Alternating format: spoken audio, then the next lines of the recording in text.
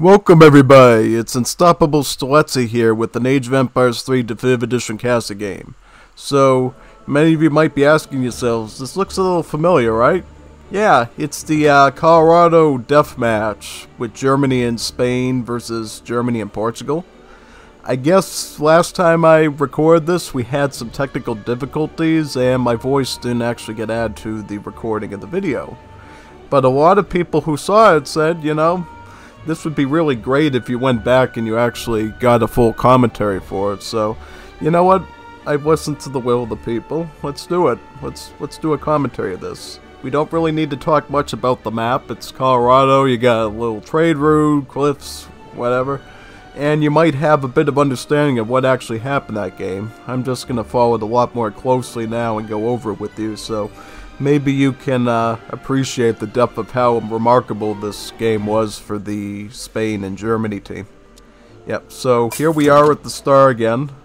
It's basically your everyday start. You pop the Minutemen out, you build your church, get all your shipments together, and then you start getting your training cards going, any other related stats cards that you want, or factories. Yeah, it's basically just that. Red Germany sets up over here with the stables, whereas Yellow Germany sets up over here, and then you get the nice big fight that happens, right? And then Spain sets up a little bit more on the supporting side over here to better counter the Portuguese, who actually didn't really come up at the front in this game. They sort of stayed back at home, which I don't think that was the best idea. I think they could have probably came in maybe over here and provide a little bit of help. But yeah, as you see here, this is where the first uh, warfare is going to take place. You got the uh, Minutemen coming this way, and they can pretty easily take shots at the settler wagon at this position. But as you know, settler wagons, they got the value of about two villagers. So yeah, they have a lot of HP. So even these Minutemen blasting constant bullets into them is going to be able to survive long enough to put down the barracks. War wagons coming in, some Uhlans of yellow coming to help out. Red Uhlans come in to intercept them. And here comes the uh, bloodshed. We got ourselves the Guard Doppelsoldiers. These are absolute cavalry killing machines. Doesn't matter if you're light cav, heavy cav, hand cav, range cav, they will just slice through you like butter with their splash attack and their 3x multipliers. Yeah. Look at these uh, war wagons getting completely destroyed here. They have hand armor and they're pretty good at dealing with hand combat, but when it comes to the Doppelsoldier and its splash and multipliers, yeah, they're, get, they're getting completely destroyed here. And you can see uh, Red Germany's uh, resources are going to probably dwindle quite a bit as they try to hold off here. And unfortunately, there are no skirmishers for Red Germany to counteract this. They're also just starting now to put down a foundry which, you know, it's a little late. I mean, it would be helpful if you had some horse already or some uh, falconets to help out here, but what can you do? Yep. See, now they're starting to get the artillery, but at this point, the numbers of the Doppels are just so big that who knows if that's even going to be effective or not for you. And then you got Purple Spain setting up over here, getting ready to do something. Blue is taking a defensive stance, which if something were to happen down to the Yellow Germany ally, that would not be good. You know, you'd probably want to build a little bit closer to the front lines and start attacking. You know, if Yellow Germany, as you know, starts cutting into here, which it seems like they are, yeah, you're going to want to be there to help start the fight against the Spanish. You don't want to leave the Spanish unscathed because they could always come back and protect the uh, base side. Yep. Yeah, see, this was the problem that got Red Germany here. They just started to now make anti-infantry. They tried with the foundries before, but those things got burned down way too quickly. Now they're going to try with the skirms, but they don't have the numbers. The mass of these splash attack wielding units is enough to completely destroy skirmishers even, because they don't even have the distance to kite with. They're spawning right into them. And that's absolute demolition. Yeah. And it's looking pretty grim for uh, Don Stowe right now. The coin is gone, the food is just about gone. All you got is basically just wood in your back pocket. Total elimination. See this siege right here? This is really the last of the Red German base. I mean, once you get through this, you're scot-free, you're home free into the final stretch of the farms. And now we start to see a bit of deployment here by Yellow Germany because, honestly, at this point, you may as well start helping against the Spanish because Red Germany is no longer looking like a threat to you. And in fact, they're getting so desperate, they're going to start to send some Polish winged hussars in, a very powerful unit, mind you, in to try to protect.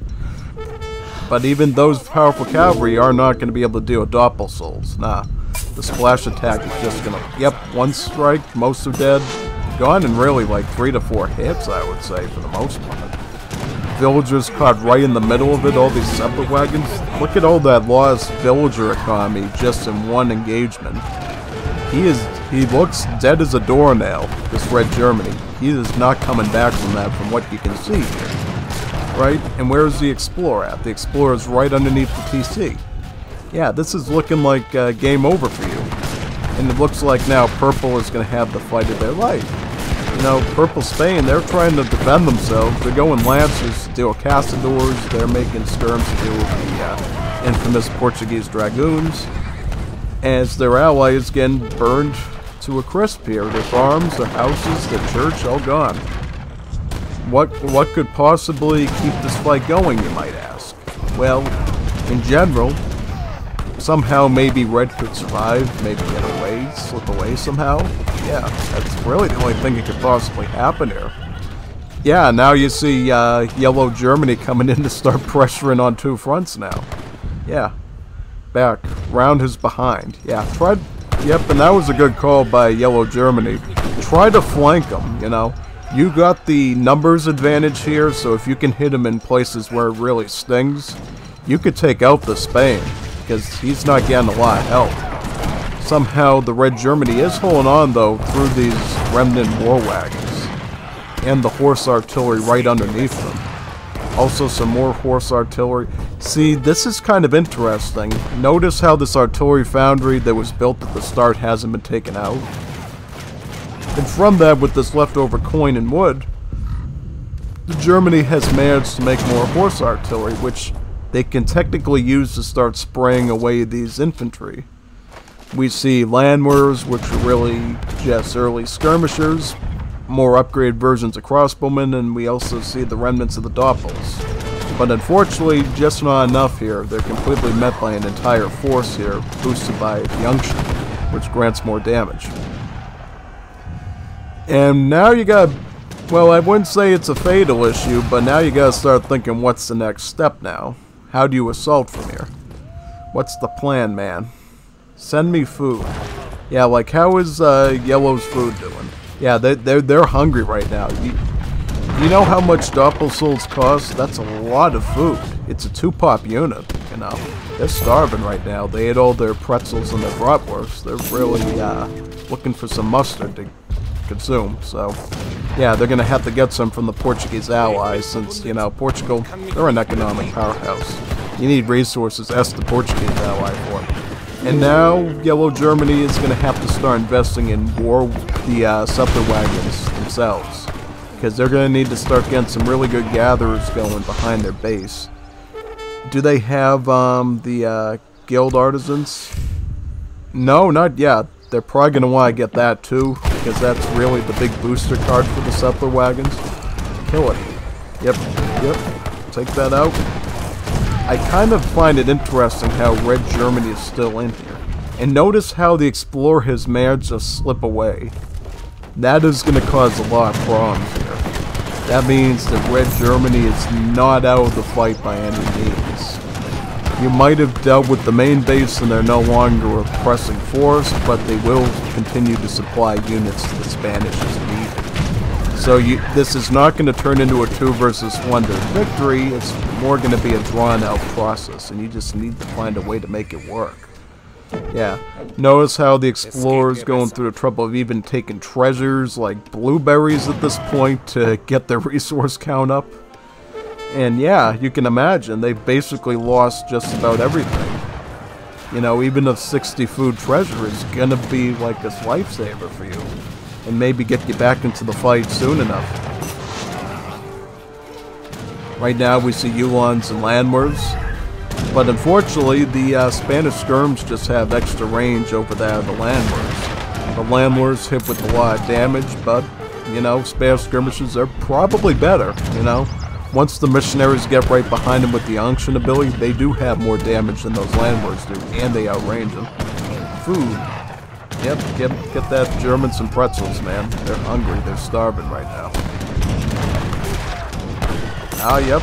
Now, I don't like this from Portugal. They're throwing units into the... into the... Look at the, look at the... throwing them into the mage shredder here. You're throwing skirms in, you're throwing dragoons in, and there's just all these hyper-boosted Spanish units here just throwing them almost... Not for free right now, but I saw things getting taken down before. And you need...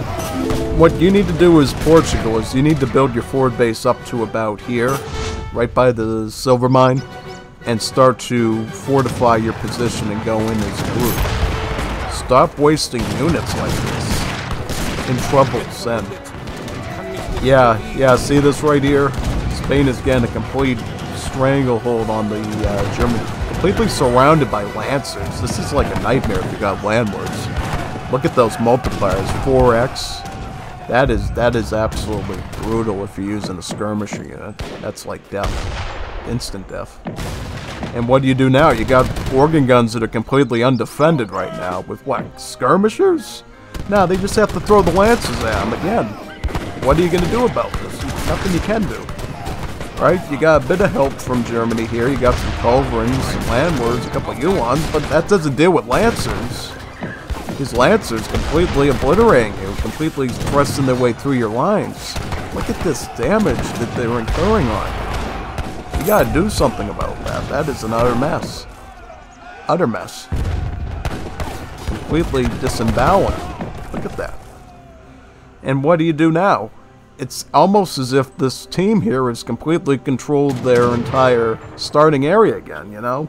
You don't have any buildings over here, but really, it's if they effectively control it now because you don't have any presence there anymore. And unfortunately, Yellow Germany, through all this, didn't have time to really put any forward buildings down by the Comanche over here, so that's another utter lack of assault over there.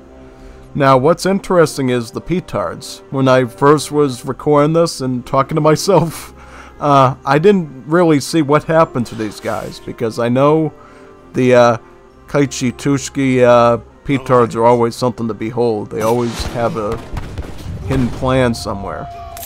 Right? They always do something. Meet here yeah, meet meet over here and try to come up with something. Because you still technically have a population advantage, you know? You're dealing with potentially armies of a hundred or more so population than your enemy does, because looking back at the Red Germany, yeah, they still don't have a lot of resources to be sending army out. I mean, they get they certainly could send more war wagons out, and they're slowly adding. Where's the town center? It's right over here. That's where the explorer was heading before. Oh wow, look at this. Spain going for the infamous Tercio siege. Don't let it win. Yeah, you gotta watch out for this stuff. Put them behind a wall, get some towers over here. You know what Spain is capable of. I've dealt with it for years against Toledo, Torino, and Moors of Liberty, those infamous raids of the missionaries with the Tercios. Your factories go up in smoke in seconds with those things. The siege attack is literally unbearable. Yeah, it, it really is. I mean, you gotta, you gotta be aware when you're dealing with Spain the possibility the pikes are gonna creep up on your factory. If you're not willing to be ready to do that, you're gonna suffer some serious resource losses. I just found an amazement in this game how Red Germany was able to get away with their Explorer and start to slowly queue settlers back into the fold. That was a real impressive feat on their part, you know. They just never gave up. They continued to provide support in the form of war wagons, Joans, just offsetting this army a little bit so it wasn't just Spain doing the work. You know, there was a little bit of anti-cav mixed in there to help out. Right? And now, what you need to see here if you want to win is uh, yellow and blue is you need to fight as a cohesive force against an army that has really good stats. Because these Spanish units, they can hold their own without any help. Look at the damage, like 30 damage if 30 damage if they go back towards the missionaries. That's some real serious stats and this death match where everything's set to post-industrial age. You know, that's like talking Imperial Age stats, what you can get with the Unction. And now what we're going to see is, we're going to see these uh, war wagons try to, yep, so they're trying to snipe at the petards now. Taking out quite a few of them, but now they're in the range of the Doppels. They gotta turn back. They don't want to repeat what happened at the start of the match, you know, they completely lost all of them. Yeah, just stay back here with the uh, Spanish skirms and you're good. You're not going to lose those things with the Spanish skirms around, but if you try to go out alone, right into the edge of these steel swords, you're, you're as good as done. And how is this Germany set up? So, did they actually send Solingen Steel at all? Uh, I don't know. I think they... I recall from the first time I played, they did get Solingen Steel, so... What that basically means is these uh, Doppels, they're going to move slower, but they deal more damage. It's like a weapons upgrade, really, at the cost of being clunkier and clunkier than usual. You know, I mean, there's still there's it's a great card to get, especially when you're trying to play defensively. If you got mortars, if you got an ally who's trying to use trying to get hand mortars down, having the Solingen Steel card active on your Doppels turns you into a literal phalanx protect those assets. And I've done it before in Arena before. And that's why I think one of the people in the Arena community basically begged to have that card added to the German deck. Because they knew there's going to be times when we have a Chinese ally doing hand mortars, and we got somebody doing little bombards, and we need a way to create another wall of pikes basically without the pikes to basically protect them. And since Germany doesn't do pikes, they do Doppels in Arena. That's what you need to provide as an option for them. Yeah. Now this is bad. Don't fight 2v1. Yep, see, see right there, this is this was a serious problem for Portugal. They were taking fights by themselves. That's just losing us. Yes, exactly. And how is... Yep, Portugal is shelling out resources, just losing them for free here if you don't think you can engage properly, don't go in. I mean, now you left the area completely bare. These settler wagons have to return home, and they have to hopefully get these towers up in enough time. You know, these these settler wagons are valuable assets. If you let those die of your ally, you're you're doing the rest of the work on your own, and I know you can't do that right now because you're you're burning your armies up right here on this road over here. It's another mess.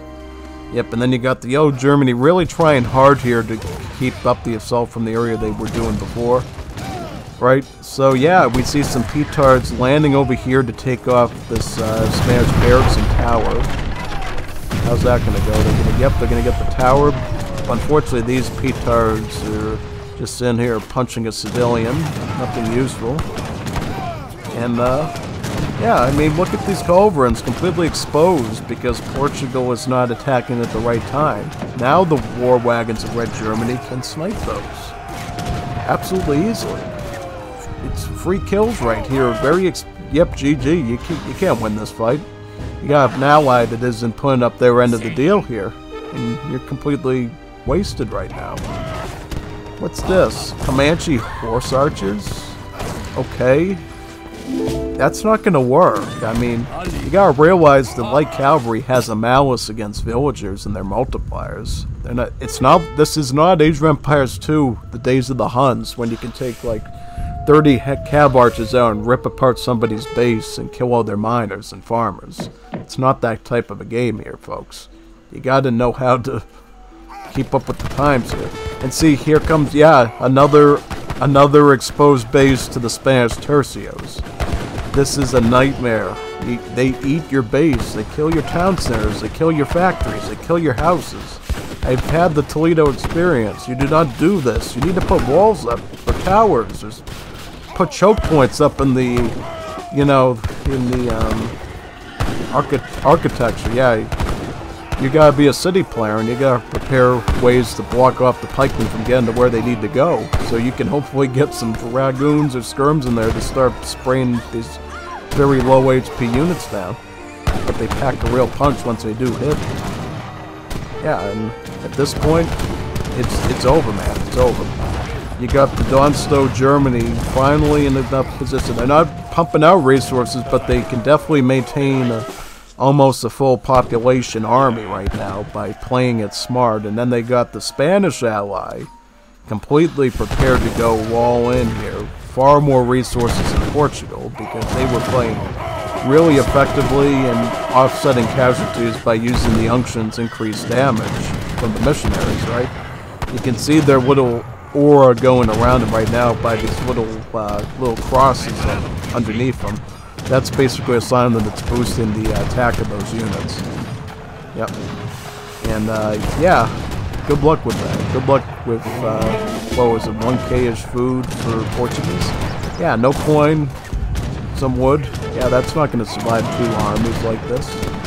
You've basically lost the war at this point, and you, the only thing you can do left is, like, resign. Really. I mean, I don't see how you're coming out of this, man.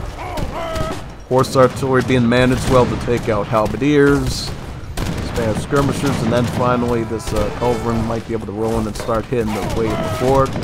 Oh, yep, another Tercio attack, another one, because this area is completely unwalled off. You're just going to take really quick siege damage from these pikes. Yep, and the Yuan's doing the same thing, joining with them and killing the civilians. This is, this is, uh, this is not a good situation right now. This is like nightmare scenario for any Portugal or any player for that matter. You don't want a Spain with tercios and a German ally doing the raiding work. That's just, yeah, GG. GG was like how many minutes ago, but okay, yep. Good match though. This was a really good Don Stowe match. You know, Don Stowe. I've seen a lot of death matches from him. He really impressed impressed everybody here with his survivability and also the uh, the uh, Spain Milky, just an overall good fighter here, putting the pressure on and taking out those Portuguese and German armies as needed.